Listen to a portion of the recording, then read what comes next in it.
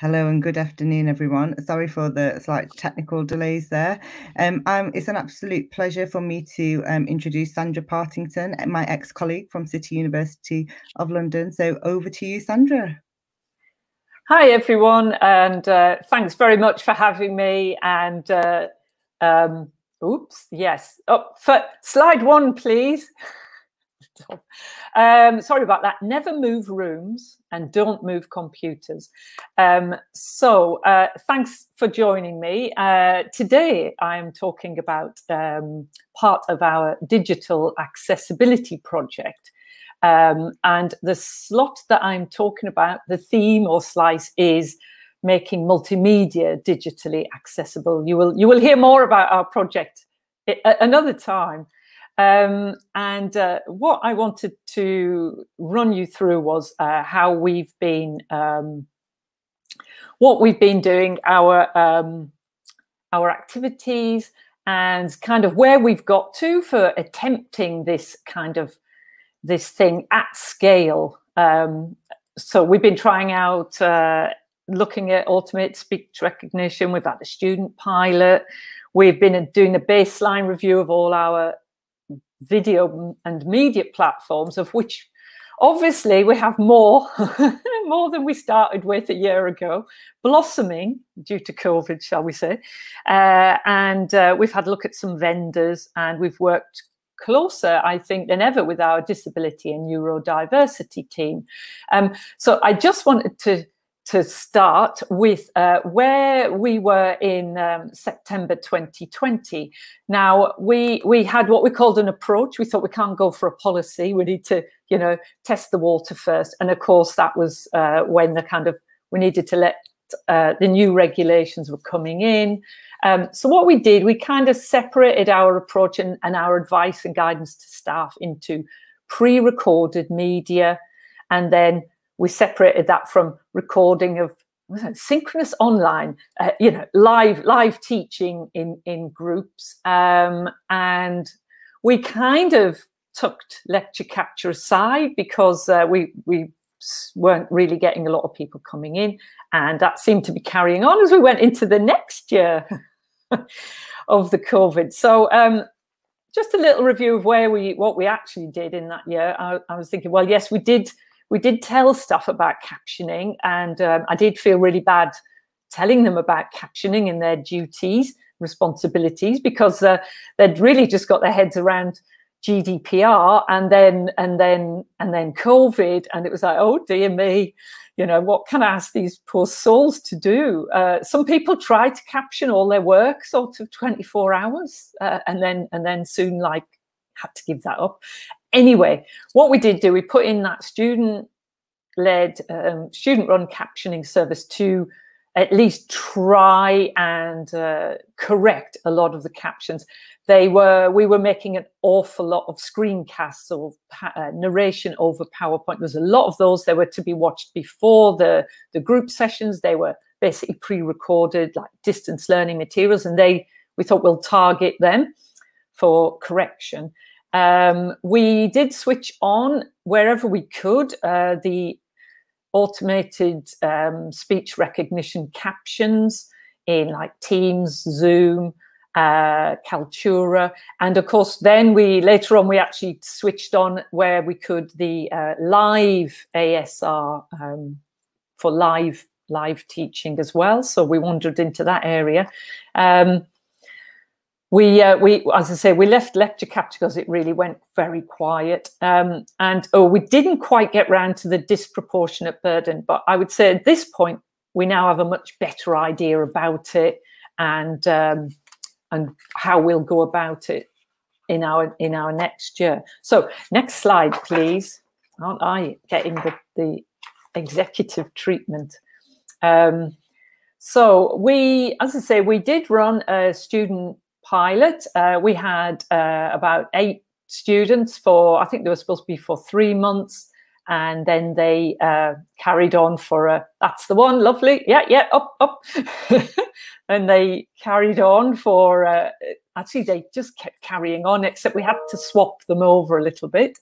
Um, so uh, they loved captioning, they were very good at it.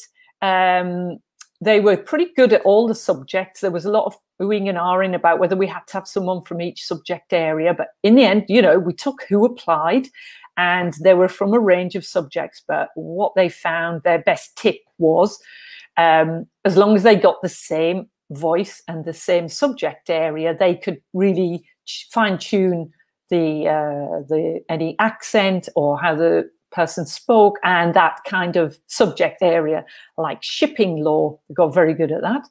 Um, what they did, so it wasn't essential to match the subject, it's good, but it's good to have a range. Uh, what they did discover, the shortcomings of automated speech recognition in one of our systems. Now, it does come in different flavors, so uh, I'll tell you a bit, little bit about that later. Um, they also discovered a bit of an issue in how we'd set up our Kaltura media platform because we'd missed a few things off our settings. And they really did help us because we basically created a little captioning factory and we had uh, uh, 20 staff taking part and uh, we basically modeled it. And from that, we gathered some really useful requirements and also kind of just a feel for when in the year this would be busy, how much, um, who's really keen on it. Uh, some staff were like, oh, it's too complicated. I don't want to apply. Sorry about that. So um, we had all of these things going on. Um, so the staff were excellent. There was about 20 staff took part. They gave us good feedback. They were very concerned. One thing they were concerned about was that their accents with international staff were affecting the accuracy of the ASR. And interestingly, we found out it, it wasn't. Uh, it was equally uh, jumbling things up, whether you had an accent or whether you were crystal uh, clear English. Um, so actually, um, although it was important to um, correct the captions, it, it, wasn't actually the accent that was that was doing the problems. So again, they helped us model what do they want, how quickly do they need the turnaround, what times of year. Um, now, so we did begin as the as the pilot carried on and on and on.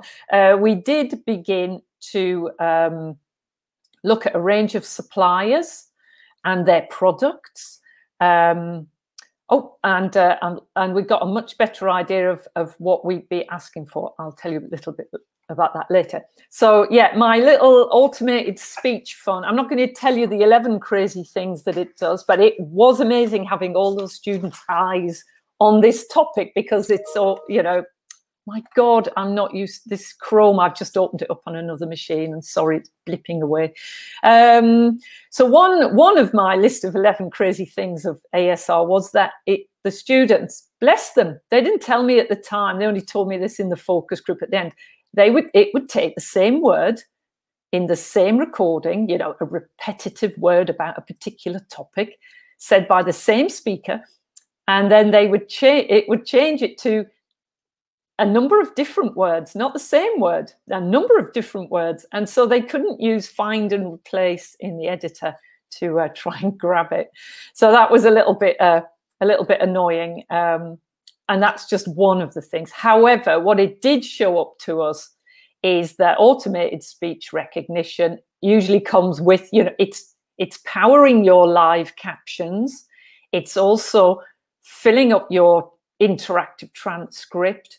So it's giving a sort of searchable version of that video, um, a highlight that follows the speaker, a downloadable transcript, um, note-taking tools. And also, you know, you can see that once that was corrected there, it sits there in the player with the um, with the transcript. Someone can download it or watch it. And what a brilliant, um, brilliant thing that is. Um, but the captions themselves can be a little uh, inaccurate. Um, okay, uh, next slide, please. Um, I guess the the other thing that um, came out was that trying to get all our platforms the same quite early on, we realized we were missing some things. Our, our big um, mistake was we somehow didn't have the interactive transcript on our main media player, and we didn't have the ability to change the caption size and tech um, contrast. And we were like, oh no, where did that go? Somewhere in the settings. So we had to get that set back up.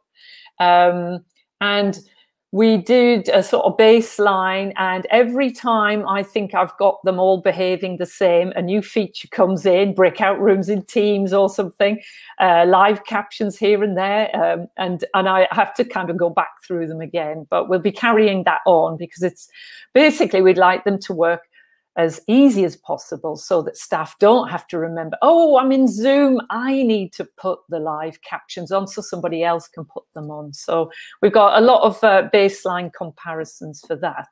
So on to our up, um, the next slide is our request for, uh, I just thought I'd show you this because um, we, we're going out for uh, just a middle-sized tender. It's not the whole institution tender. So it's, it's, it's a smaller amount of money. So you can actually get, you know, we're going to get about five quotes. And I just thought I'd show you what we came up with to send to the different vendors. You know, this is what I need your quote to reflect.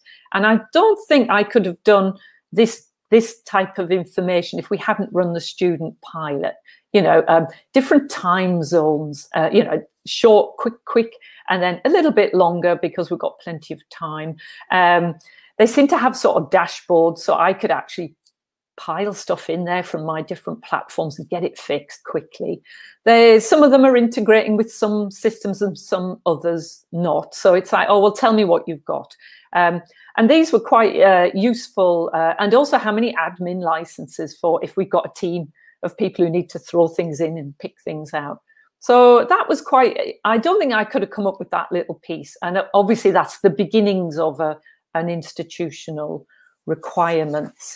Um, so let's move on to the next one. This is our updated approach. Um, obviously we have a kind of guidance and we take this through committees and things, but um, the kind of what we've changed to is um, well, we're still going on the pre-recorded.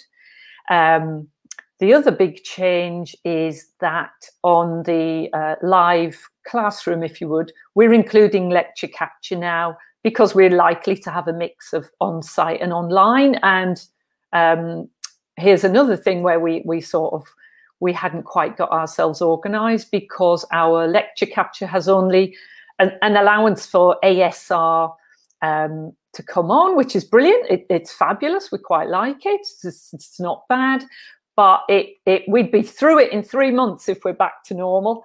Um, so we're going to have to sort that one out. So we brought that one in the mix. We're also working a lot closer with our disability and neurodiversity team because they have actually had a big input into our new.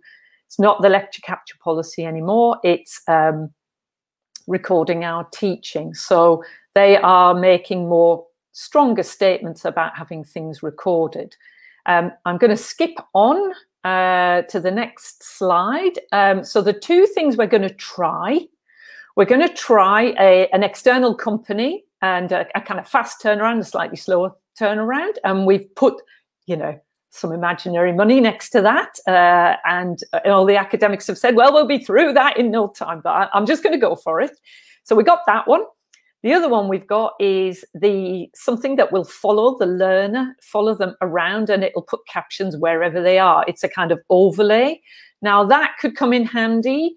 Um, we're going to start that off with students with a disability or neurodiverse. We'll, we'll pilot it with some people, see what they think before we sort of can say it's a useful um, disability uh, assistive technology. Uh, we'll try it out with that one, could fill in some gaps uh, say if a student is watching a stream from Echo, it could give them captions on that. Something like that could be handy. Uh, we're also going to have to uh, have a look at our lecture capture allowance.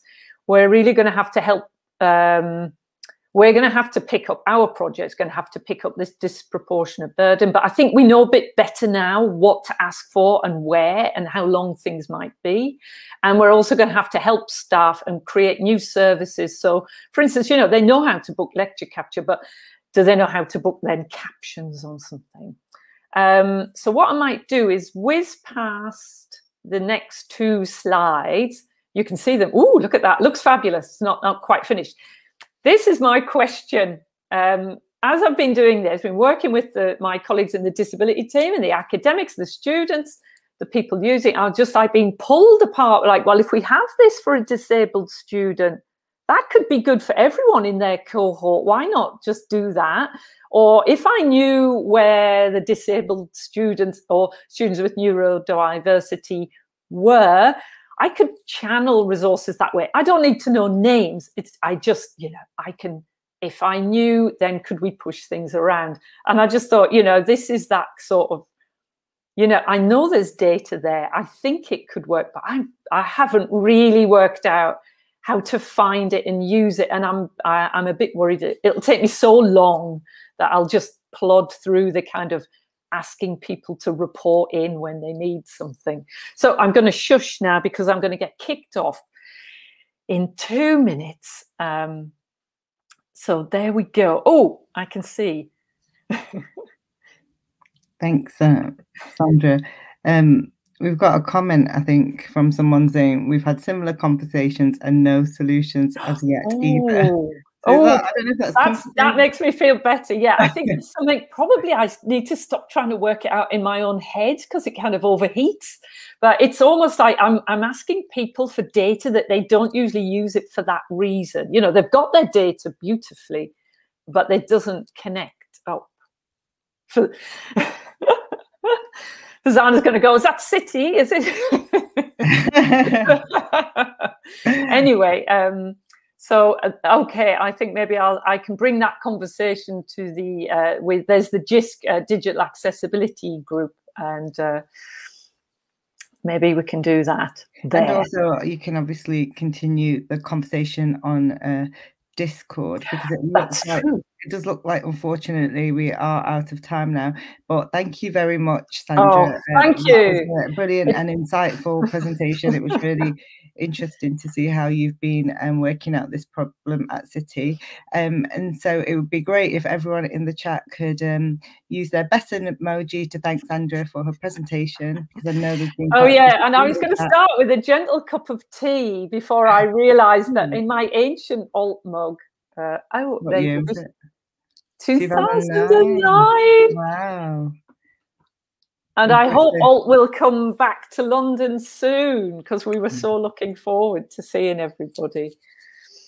Mm. Okay, kill it. Kill it.